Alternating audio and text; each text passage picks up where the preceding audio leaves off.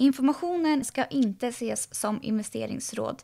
Tänk på att placeringar i värdepapper alltid medför en risk. Historisk avkastning är ingen garanti för framtida avkastning. God morgon från Paretodesken. Det är måndagen den 19 oktober. Idag ska vi prata Sandvik och Volvo med Anders Roslund. Men vi börjar i USA och eh, Nancy Pelosi hade i lördags kväll amerikansk tid telefonmöte med Steven Mnuchin om eh, nya stimulanspaket och eh, Pelosi gav Trump-administrationen 48 timmar på sig om det ska bli några nya stimulanspaket innan valet och de kommer prata om det här igen idag. Nya hopp om stimulanser till marknaden alltså.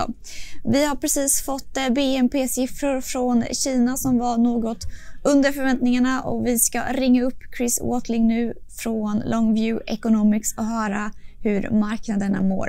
Yeah, morning, Matilda. Yes, so interesting. It's a, it's a little bit bid overnight. It was bid up on on Friday. There's obviously some some relief about uh, potentially fiscal talks coming back on the table. We've had more news flow on that over the weekend, so people are getting excited about that and and, and interested in that. And um, but we'll see. I mean, last week was a tough week in the first half, and I think markets are starting to to give back a little bit of the gains they had from late September. You'll remember September 24th, 25th. They they hit a floor and rallied for three weeks quite nicely, and now they're giving back some of those gains. And I think they'll start to think about that presidential election that's coming up. Actually, not that far away. I mean, I think what are we now? Less than just just over two weeks away.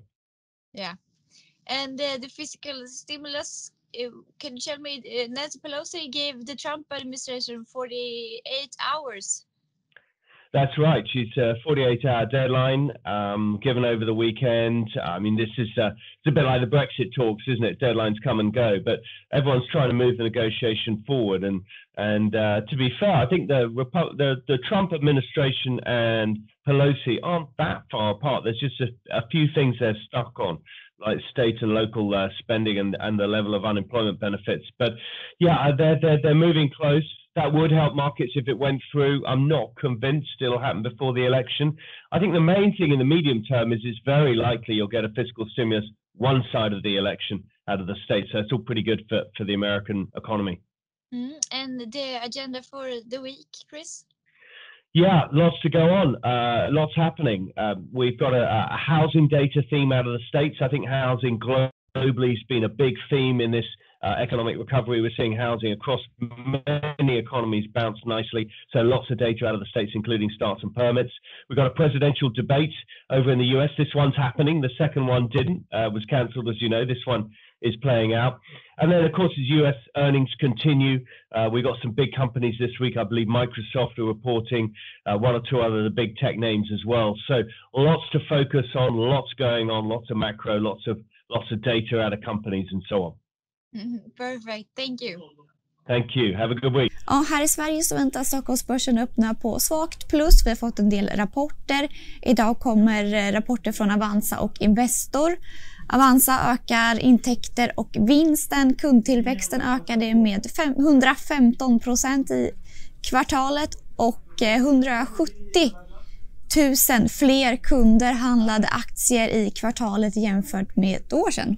Mm. mm intresset för aktier ökar. Ja, men det är väl bra. Ja, och så har vi precis fått en eh, rapport från Saab som eh, tidigare lade sin eh, Q3-rapport. Men vi fokuserar på Volvo och Sandvik idag. Volvo tidigare lade ju också sin rapport i fredags. Mm.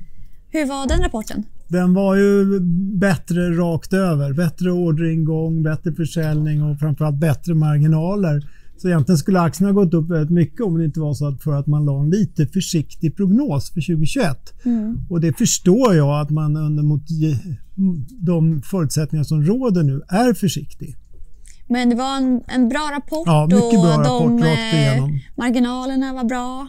Ja, egentligen var det var bra på alla nivåer. Så att, eh, verkligen imponerande. Så egentligen hade man inte lagt den här lite försiktiga prognosen då tror jag att aktien skulle ha gått upp mycket mer. Mm. Och hur gick det för Sandvik då som också kom rapport i fredags? Sandvik kom in med lite svagare tillväxt, lite svagare orderingång, lite svagare försäljning men fantastiska marginaler. Så att först tyckte marknaden att det här var dåligt och sänkte aktien 3% Men sen lyssnade man noga på ledningen i, under telefonkonferensen och då framkom det att det ser ganska bra ut i Q4 för det, det mest cykliska verksamhetsområdet Machining Solutions. Så att det känns som att de är på rätt väg i Q4 och det kommer att bli mycket bättre.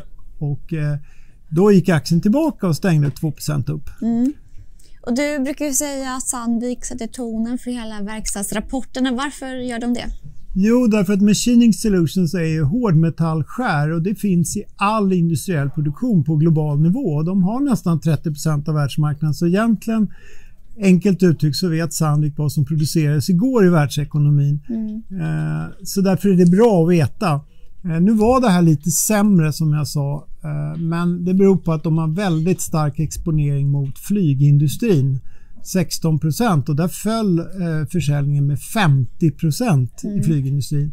Så att det drog ner helheten men allt annat gick ganska bra. Mm, och eh, vad drar du för slutsatser nu då till de andra Jag drar slutsatserna att det kommer bli eh, budskapet i både Volvo och Sandvik var marginalerna är rekordstarka och det tror jag vi kommer att se rakt igenom att besparingarna är bättre än väntat. Sen tror jag också på marginalen att tillväxten är, kommer att vara fortsatt bra också. Mm. Så de har kunnat eh, kostnadsbespara så gott de kan? Ja, och det kan man säga, det har ju legat lite grann i förväntningarna att det ska bli bra marginaler och bra tillväxt. Eh, men jag tror ändå att det blir en viss positiv reaktion när, när man nu ser att det är nästan ännu bättre än väntat. Mm. Tack så mycket. Mm. Tack så mycket. Tack.